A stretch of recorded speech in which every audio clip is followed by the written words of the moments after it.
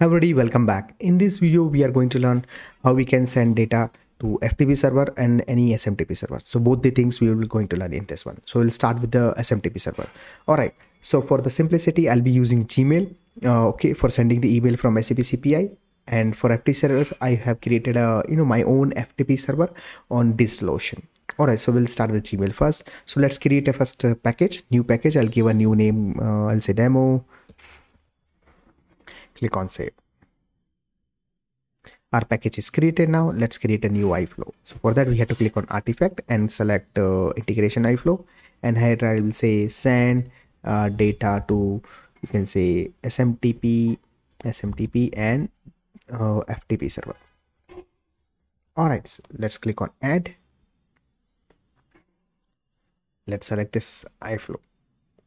Okay so you can see our empty iflow is created okay so before we do anything over here first what we can do let's uh, go to gmail account. So this is our gmail account. As you can see there is no emails right now. Uh, so what you need to do you, you need to go on the top right corner click on it and click on this manage uh, you know google account.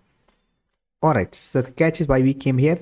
For sending any email from sap cpi to this gmail account we need we need to use credentials. The catch is you cannot use your the credential which you log in into the CP uh, Gmail accounts. We have to use app password only. So what we need to we need to click on security, and then search app password, app password.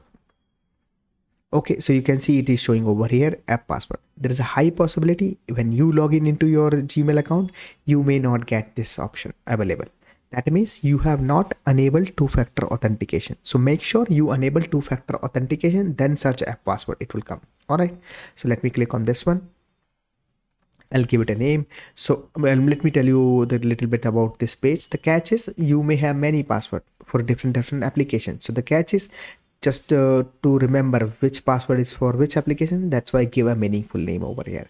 And let's click on create once the uh, this is created this will give you a password which you can save uh, so let me put it over here because you won't get this again. The catch is you can delete and uh, create it again. That's not a big deal. Okay so our settings with respect to gmail is done. Let's go back to the you know uh, let me go to this screen monitor and click on this integration and apis whatever password we have created we have to store inside the security material. So let's click on it click on this create. I mean create user credentials. Give a name. I'll simply say Gmail for now. And the password which you copied just now you paste over here.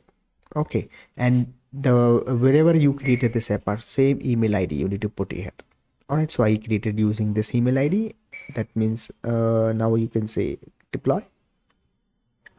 Okay so this is done. Now how we can check whether the email before we use and this SMTP settings over here, how we can make sure whether this everything is fine or not. So for that one, you need to click on it, monitor again. Scroll a little down where you created the password in the same section, you will see something called connectivity test. Click on it, go to SMTP, and this is the place where you need to, you know, put the a Gmail SMTP server hostname. So I'll say smtp gmail.com. No need to change anything. Only thing you have to change in the authentication. So click on the plain username and password and click on this Gmail which we just now created. It will automatically pull from there.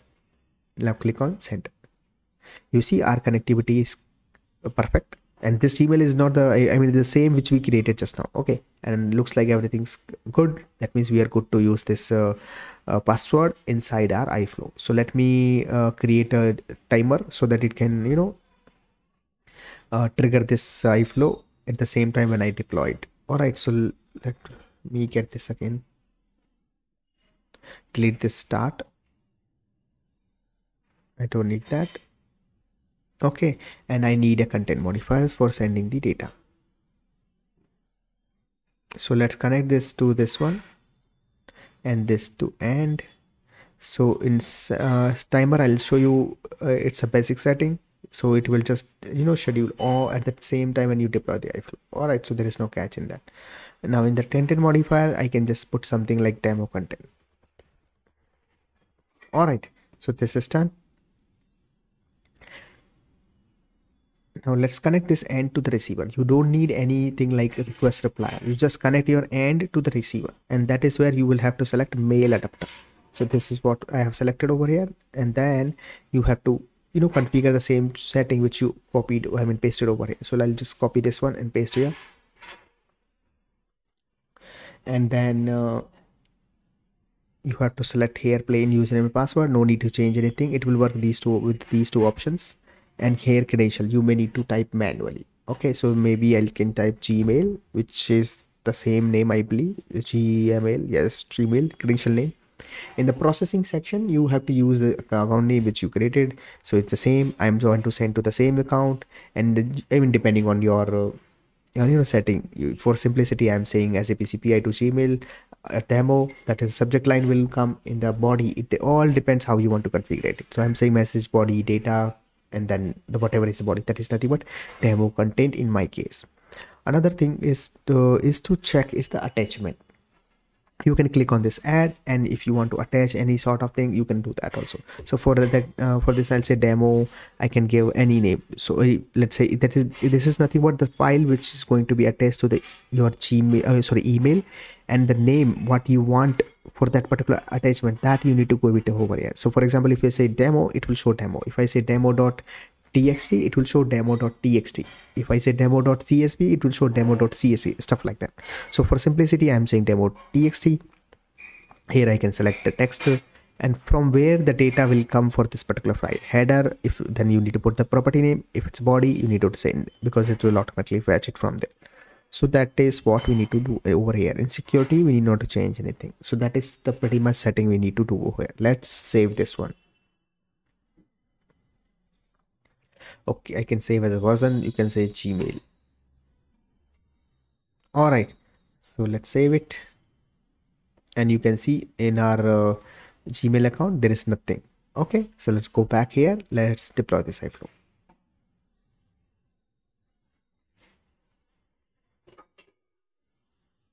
You see it came here. And you see it's showing you sap cpi gmail demo. Let me copy this one and search over here just to make sure like it's the same thing. You see? And this is the data uh, in the body we are sending. Let me do control f. You can see over here message body a demo content. And the catch is i told you demo.txt because i gave demo.txt in the attachment. If i say uh, now open the file you should see the content. You see it's demo content.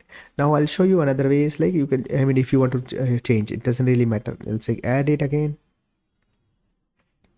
and for just a demo I'll say CSV and I'll just deploy. It will trigger one more email. You see it came here. Now this time you see demo.csv the content is still text only so it is showing that way. That doesn't really matter. Okay so that is what i want to say uh, with respect to how you will send from sap cpi to gmail or any smtp server okay now let's start with the ftp okay so what we need to do you need to create a ftp server. I mean basically you won't be creating actually. You'll be using some uh, company's FTP server and that is where you may, you may need to drop the file. But just for this demo what I did I created a FTP server over here and it is running on uh, a DigitalOcean. I have already created a video how you can create a VM in that DigitalOcean and stuff like that. Okay, so that is different story. So assume uh, your FTP server is up and running. Alright, so for that uh, you you need to have a username password and the IP of that FTP server. Okay, so that is what I will show in this demo. So before I log into this, what I need to do, I'll go back and let's create a user for that. Just like we created for SMTP. Uh, let me refresh this one. I think it should show for Gmail.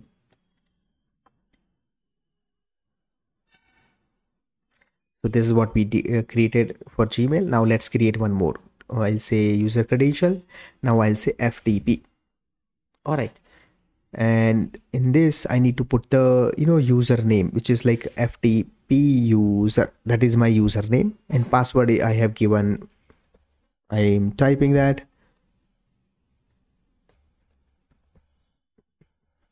okay so this is my password let's deploy it so you can see my credential is created now similarly what i can do i can come to this ftp and I have to put my IP.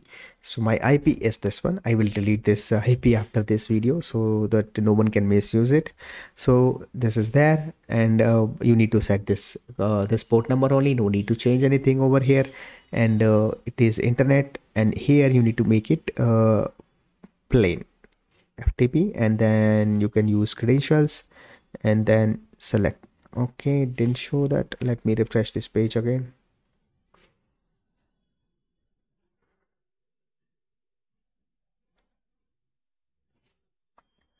Okay so sorry ftp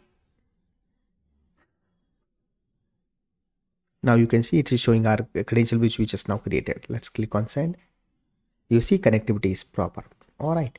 So that means we can we i mean we are good to use this settings over there. You, if you have particular folder in my case i have it like uh, um, upload i believe. Uploads. I think that is the folder name i think i have given. So i'll say send. It is proper. You can see that it's showing data csv it is having one record looks like there. So that is why it's showing there also okay this is proper. Let's go back here. Now let me remove this setting. I'll delete this one and i'll connect again. And this time what i'll do i will select ftp so i selected ftp over here. In the target directory same i need to put upload. So i'll say uh, slash upload sorry. And the, what is the file name i have to say? I can say demo right now. Demo whatever is the file name i'll say demo txt all right and then here address. In address we need to put the same ip nothing but your uh, ftp ip or host name you can say. All right let me select your plain non encryption right now. And credential. Credential is our ftp which is we created i believe somewhere here. All right we don't need this one. Okay so to, to, to, to, i think we are almost done processing. Yeah you can override if the file is already available. Okay and where is the server i'll just save it. Okay and just remember our file name is demo.txt now let me go back to the ftp server. You can see it is here and if i show you let's say ls you see only one data set. This file is already there and you have also seen over here. It is showing the data csv something like that. All right we don't have anything. But now new file we are uploading that is demo.txt that should come over here. Ls there is nothing. I'm just directly logging and showing for you from the ftp folder. All right. So let's deploy this one. Our flow is deployed. Let's go back here. Do ls you see demo.txt is there. Let's do a i mean uh, nano demo see it's showing you demo content. All right let me come out of this one. Let's go back here. Let's post something else. Uh, maybe I'll say I'll change the message now this time.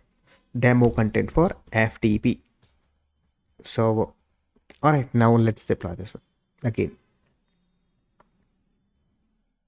So our flow is deployed. Let's go back here if I do nano this time, it should show you something else. See demo content for FTP server because we have selected overwrite. All right, so that's how you can send any file or content from SAP CPI to SMTP server or FTP server. These two I am showing in this video. Thank you very much.